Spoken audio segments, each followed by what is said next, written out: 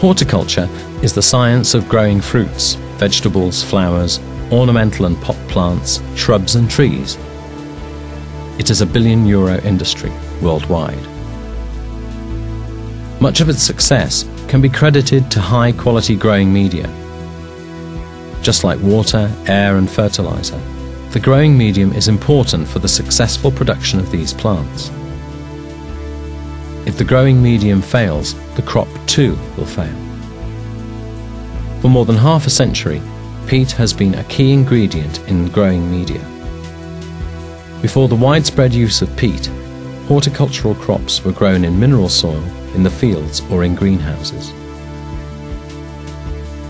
In the 1940s, professional growers started to experiment with ways of growing plants year round and to develop techniques to move them around easily.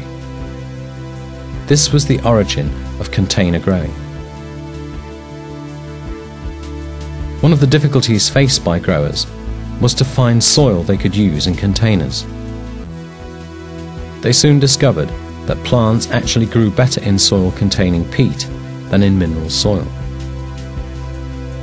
Container bedding plants, for example, were found to have a longer shelf life which led to modern garden centre retailing. Today, peat makes up about 85% of all growing media used in horticulture. It is blended with lime and fertiliser, composted materials, coconut fibre, vermiculite, perlite, compost, rice hulls and many other products to produce commercially viable, highly predictable growing media. What makes peat so special? Peat has a wide range of advantages as a growing medium constituent. Perhaps the most important one is its cellular structure, which gives peat the unique ability to hold water and yet allow air to get to the roots of the plants. And it can be easily fertilized and limed to meet crop-specific needs. Peat is normally free of harmful pests and weeds extremely important when growing crops in a greenhouse. Peat is easy to handle and grade, and when it is blended with other soil improvers like compost, the end result is a better quality product. Peat-based growing media have a wide variety of uses in horticulture.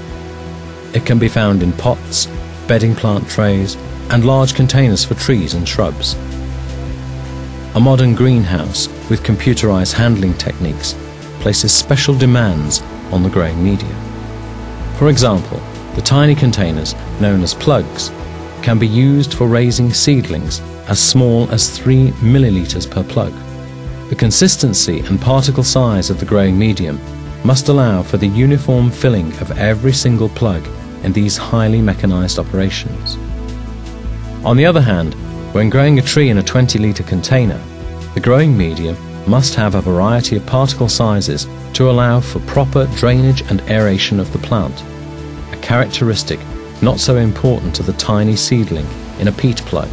Peat-based growing media meet these challenges.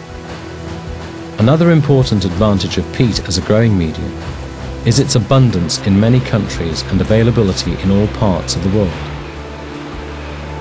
The annual global production of horticultural peat is approximately 40 million cubic meters.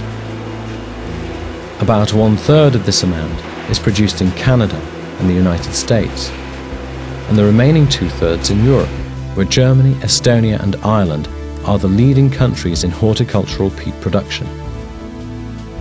To minimize the use of peat wherever possible, the growing media industry is searching for suitable substitutes research is being conducted in many countries to find ways to reduce the use of peat and increase the use of recycled products. Although some success has been found in reducing the amount of peat, in most cases it cannot be totally replaced. No alternative has been found that is consistent, affordable, and available in sufficient quantities and as risk-free as peat. Peat is used widely in horticulture. This is because horticulture is a large global industry, and growers are dependent on this material. If we didn't have peat, we wouldn't have such an innovative horticultural industry as we know it today.